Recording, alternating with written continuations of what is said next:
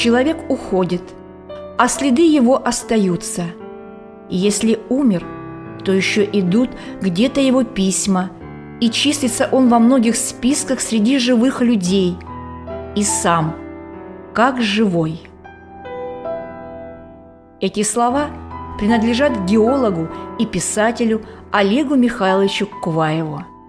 Обладая душой романтика и вечного странника, он уважал ее и в других.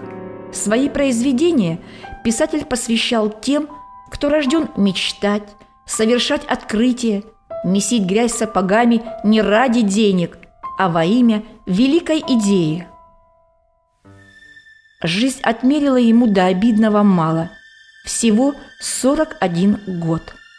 Половина этих лет была отдана литературному творчеству. При жизни писателя в Магадане, Новосибирске и в Москве было издано 8 книг.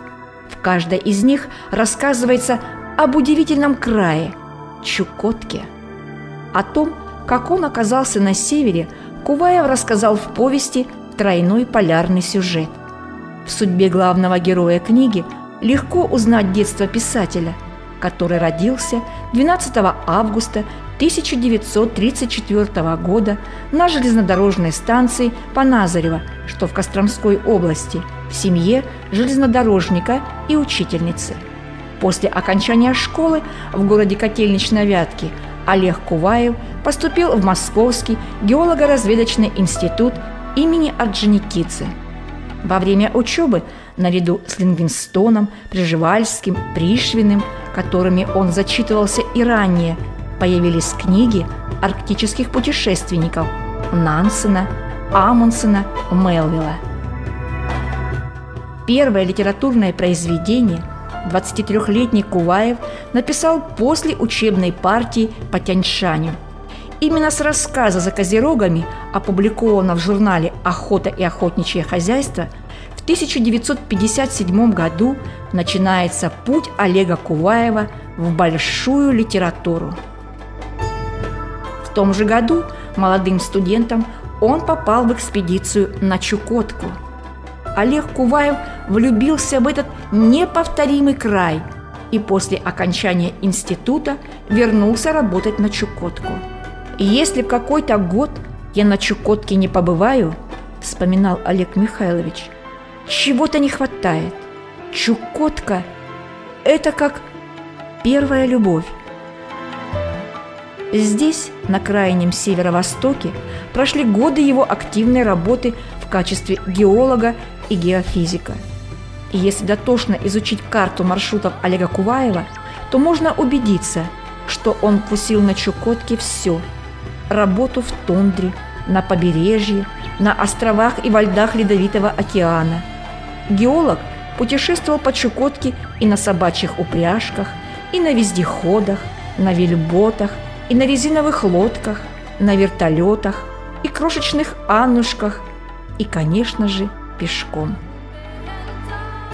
Чтобы целиком посвятить себя литературному труду – 1961 году Олег Михайлович увольняется из геологического управления.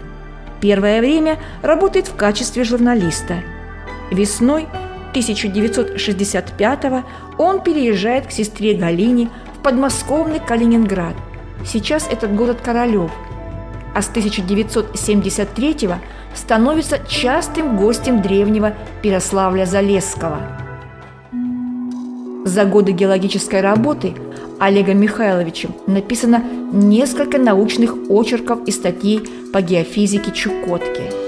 А свои рассказы, повести и романы «Чудаки живут на Востоке», «Весенняя охота на гусей», «Птица капитана Росса» и другие он посвящал труженикам и мечтателям нашего края.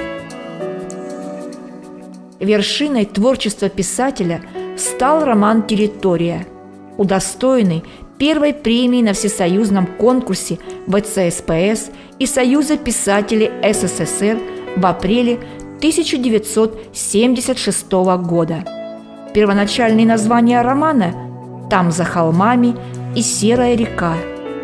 Куваев переписывал роман шесть раз. Отдельной книгой «Территория» вышла посмертно в издательстве «Современник» осенью 1975 года.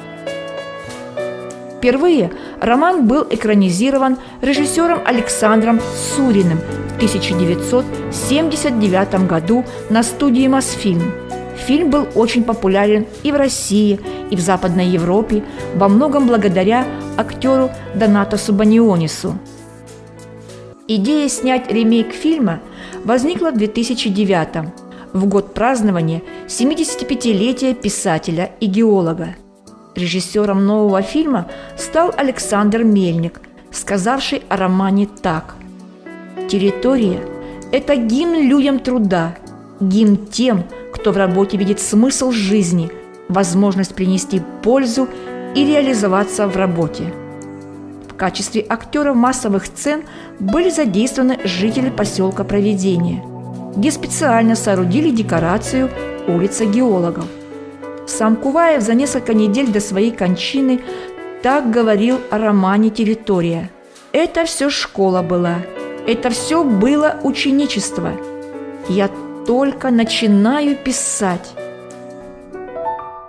Олег Куваев ушел из жизни 8 апреля 1975 года, в тот момент, когда как художник еще продолжал набирать высоту. Только за первое десятилетие после кончины автора роман «Территория» издавался каждые два года. Среди тех, кто неравнодушен к дорогам, странствиям, истории и географии России.